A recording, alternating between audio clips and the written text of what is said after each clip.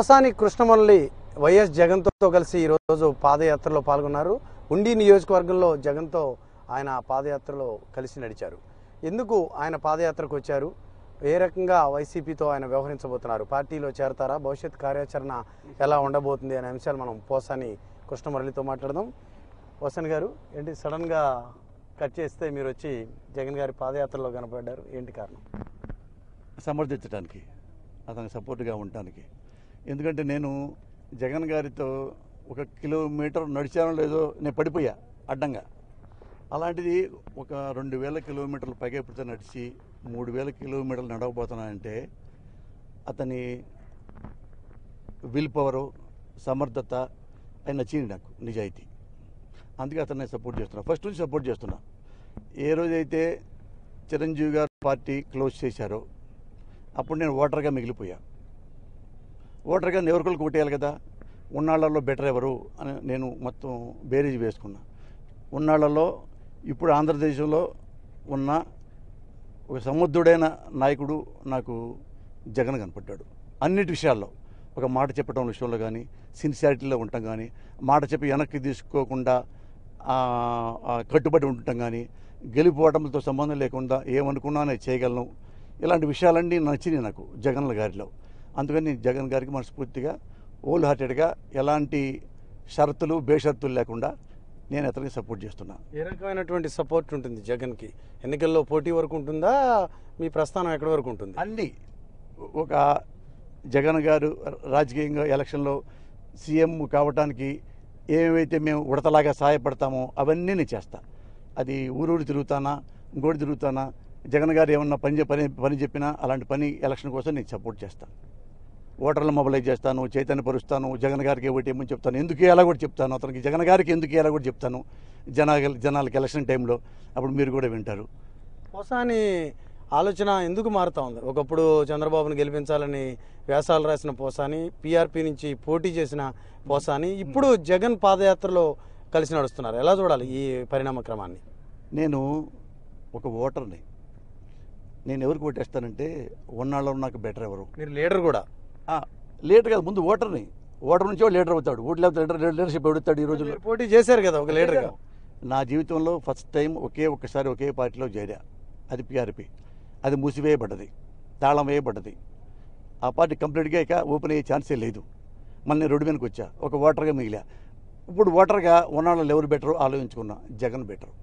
ఒకప్పుడు చిన్నప్పుడు నా ఓటు ఓటు వచ్చిన కొత్తలో ఎన్టీఆర్కి వేసా మళ్ళీ అప్పట్లో ఉన్నాళ్ళలో బెటర్ ఎవరు? చంద్రబాబు అనుకున్నా. ఉన్నాళ్ళలో బెటర్. అంటే పరిపూర్ణమైన మనిషి ఎవరు లేడు ఈ రోజుల్లో. ఉన్నాళ్ళలో బెటర్ ఆయన అనుకుని ఆయన సపోర్ట్ చేశా. ఏ పార్టీలో చేరాలి అప్పటికి. చేశా ఓటేసా అట్లా ఇప్పుడు ఉన్నాళ్ళలో బెటర్ ఎవరు? నాకు జగను. నాకు ఓటర్ నాకు ఏం కావాలంటే ఓటర్ ఏం కావాలంటే నాకు స్వచ్ఛమైన మంచిలు కావాలి. పర్ఫెక్ట్ కరెంట్ కావాలి. దోమలు లేకుండా ఉండాలా. నా రోడ్డు శుభ్రంగా ఉండాలా. నేను తినే తిండి కల్తీ లేకుండా ఉండాలా. తినే కూరగాయ కల్తీ లేకుండా ఉండాలా. ఇవన్నీ నిజాయితీగా ఎవరు పరిపాలిస్తారు? ఇవన్నింటినీ సమర్థించుకుంటూ అంటే ఉన్నాళ్ళలో నాకు జగన్ కనపడ్డారు. చాలా పరిపాలకులను చూశా. పరిపాలకులు గెలిచే ముందు ఒక మాట గెలిచి తాగి ఒక రకంగా ఉన్నారు. అది నచ్చల. ఈయన గెలవడానికి కూడా అబద్ధాలు చెప్పలా. కొన్ని అబద్ధాలు ఆడితే పోయినసారే జగన్ గెలిచేవాడు. నేనే సాక్షి. నేను ఇప్పుడు కడప దిగా కడప తిరిగా. మీ ఇప్పుడు వైఎస్ఆర్ పార్టీ అప్పుడు మన చిరంజీవి పార్టీ మూసినప్పుడే. అప్పుడు కడపలో ఈయనకి వాళ్ళ అమ్మగారికి నేను సపోర్ట్ చేశా. కడప మొత్తం తిరిగా. ఒక ఆయనకి ఒక సపోర్టర్గా. ఇప్పుడు ఎందుకు చేస్తున్నానంటే నేను నేను చెప్పాను జగన్ గారితో జగన్ గారు మీరు రుణమాఫీ మొత్తం చేస్తారు అంటే మీరు గెలుస్తారండి. జనాలు ఎందుకంటే సిక్స్టీ పర్సెంట్ రైతాంగం మీద ఆధారపడ్డ రాష్ట్రం ఉంది అందులో fifty percent fifty eight percent పైగా అక్షరాస్యత లేనివారు నిరక్షరాస్యులు ఉన్నారు. వాళ్ళకి ఎన్ని మంచి మాటలు చెప్పినా ఎక్కువ రుణమాఫీ మీరు డబ్బులు కట్టక్కల బ్యాంకుకి మీరు డబ్బులు ఎగ్గొట్టచ్చు మేమే కడతాం మీ తరఫున అని ఈ మాటలు నా నేల మించే మాటలు వినపడితే ఓ మన డబ్బులు కట్టక్కలేదా మన నగలు బ్యాంకులో ఫ్రీకి తెచ్చుకోవచ్చా? వాడికి కొట్టేద్దాం అనే మెంటాలిటీలో ఉంటారు జగన్ గారు. ఇన్ని మంచి పనులు చేస్తే అది కూడా కూడా అంటే మీరు మీరు గెలుస్తారు. నేను అన్న అన్నాడు. ఎందుకని అన్నాడు ఆయన? చెప్పాడు. నేను జనాన్ని మోసం చేయను. మన ఆర్థిక పరిస్థితి నాకు తెలుసు. ఇప్పుడు ఇచ్చిన హామీలు కూడా అదే స్థాయి హామీలు ఉన్నాయి. మరి ఇప్పుడు ఆర్థిక పరిస్థితి ఏ రకంగా సపోర్ట్ చేస్తా అనేది. ప్రధాన ప్రశ్న. లేవు. ఇప్పుడు ఆ మళ్ళీ ఎప్పుడైనా మీరు ఎన్టీవీ లైవ్ ప్రోగ్రామ్ పెట్టండి. ఆయన ఇచ్చిన వాగ్దానాలు మొత్తం తీసుకొస్తా. ఆర్థిక పరిస్థితికి తీసుకొస్తాం. ఇప్పుడు నవరత్నాలు కూడా ఆర్థికంగా అనేక అన్ని- భారాలు ఎందుకంటే నేను ఎందుకు నమ్ముతున్నానంటే ఆయన హంబక్ కాదని రుణమాఫీ అంటే నేను గెలుస్తాను తెలుసు మురళి. నేను గెలిచాక డబ్బులు ఇవ్వలేక చంద్రబాబు లాగా నేను అందరితో తిట్టించుకొని శపించుకునే మెంటాలిటీ నాకు కాదు. నేను ఏమి చేయగలను అది చెప్తా. ఏది చెప్తానో అది చేస్తా. మా నాన్న అలాగే చేశాడు నేను అలాగే చేస్తా. అప్పుడిప్పుడు ఆర్థిక పరిస్థితి వేరు. ఇప్పుడు విడిపోయిన ఆంధ్రదేశం ఇది. విడిపోయిన ఆంధ్రదేశం. ఇప్పుడు బడ్జెట్ ఎంత? ఇప్పుడు లోటుపాట్లు ఎంత? ఇప్పుడు ఎంత లోటు బడ్జెట్ ఉంది? ఎంత మనకి ఇన్కమ్ ఉంది? ఎంత మనం ఖర్చు పెట్టాలా? ఇవన్నీ నేను లెక్కలు వేసుకుంటున్నా వేసుకుంటే ఇప్పుడు రుణమాఫీ మొత్తం చేసి నేను మీకు చేస్తానంటే వాళ్ళు గెలిపించిన తర్వాత రుణమాఫీ చేయలేదనుకో చంద్రబాబు ఎలా తిడుతున్నారు? నిరుద్యోగ భృతన్నాడు చేశాడా? మరి ఎలక్షన్ ముందు ఏం చెప్పాడు? అలాంటి నేను చేసి చెప్పానా? నేను అట్లాంటి అలాంటి చీప్ మాటలు నేను మాట్లాడిన మురళి రైతులు నేను చేస్తా మరో పద్ధతిలో చేస్తా. వాళ్ళు నష్టం లేకుండా చేస్తా. వాళ్ళు బాధలు లేకుండా చేస్తా. అంతే తప్ప ఎంత బడ్జెట్ ఉందో బడ్జెట్లో సగం మొత్తం రైతులకే పెట్టేసి పక్క వాళ్ళకి అన్యాయం చేసి ఇట్లా నేను చేయను. వాళ్ళ ఓటు కోసం నేను చేయను. నిజంగా వాళ్ళు బాగుపడతారంటే ఏమేం చేస్తా? ఐ కెన్ డూ ఎనీథింగ్ ప్రజలు బాగుపడటానికి ఏం కావాలో అవన్నీ చేస్తా తప్ప ఇలా గెలవడానికి ఏంటి మార్గాలు నాకు ఎప్పుడు చెప్పొద్దు మీరు. అది నాయకుల్లో ఉన్న క్వాలిటీ నిజాయితీ పరుల్లో ఉన్న క్వాలిటీ. పక్కా పొలిటీషియన్ క్వాలిటీ కాదు. ఒక సిన్సియర్ సిన్సియర్ ఒక పొలిటీషియన్ పాలసీ. ఉన్న వాళ్ళలో బెటర్ని చూసే అన్నారు. పవన్ కళ్యాణ్ ఎలా అనిపించాడు మీకు? ఉన్నాళ్ళలో బెటర్ నేను ఉన్నా నా కొడుకు ఉన్నాడు. నాకంటే నా కొడుకు ఉంటే జగన్ బెటర్. ఇంకా పవన్ కళ్యాణ్ ఎందుకు లెక్కేసుకుంటాను? నేను జగన్ కంటే ఎక్కువ చదువుకున్నా. నేను బీకామ్ ఎంఏ ఎంఫిల్ చాలా చదివా. మరి అంటే నేను జగన్ కంటే నేను గొప్ప అనుకుంటానా? జగన్ కంటే నేను సమర్థుడిని కాదు. జగన్ లాంటి డెడికేషన్ నాకు లేదు. ఆ రెండు ఇప్పుడు రెండు వేల కిలోమీటర్ నడిచాడు. ఈ రెండు వేల కిలోమీటర్ నేను నడుచుంటే దారిలో చచ్చిపోయేవాడిని. వంద కిలోమీటర్లు చచ్చిపోయేవాడిని నేను. రెండు జిల్లా కూడా రేపు నువ్వు వస్తావు రాజకీయాల్లోకి. నీకు నువ్వు నువ్వు ఫ్రెష్గా ఉన్నావు. నీకు సపోర్ట్ ఒకటి ఇవ్వాలి నేను. నాకు మనసులో కొన్ని ఉంటాయి. ఓటర్గా నాకు కొన్ని ఉంటాయి.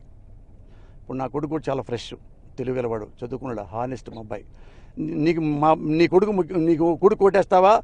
పార్టీపై జగన్ కొట్టేస్తావు అంటే నా కొడుకు కొట్టేను నా పెళ్ళానికి కొట్టేను నా కొట్టేసి చెప్పలేను?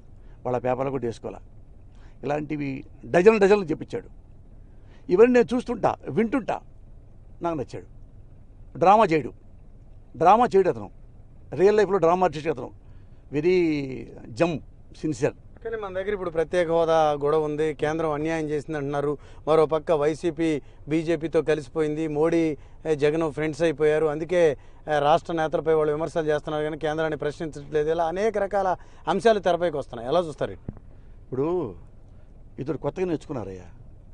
దొంగే ఎదురుని దొంగ దొంగ అంట అంట నువ్వేమన్నా గోదరా గోదరా అల్లర్ల విషయంలో మోడీని తిట్టావు చంద్రబాబు గారు.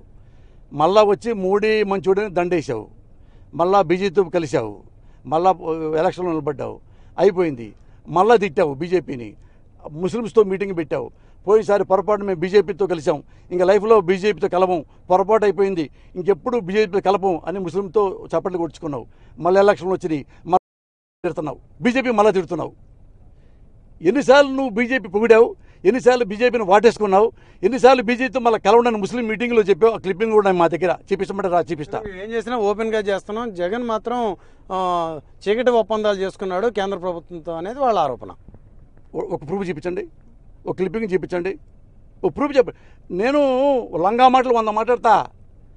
నువ్వు అథెంటికేట్గా తప్పులు చేస్తూ మాలాంటి తప్పులు జగన్ కూడా చేస్తానండి ఎట్టా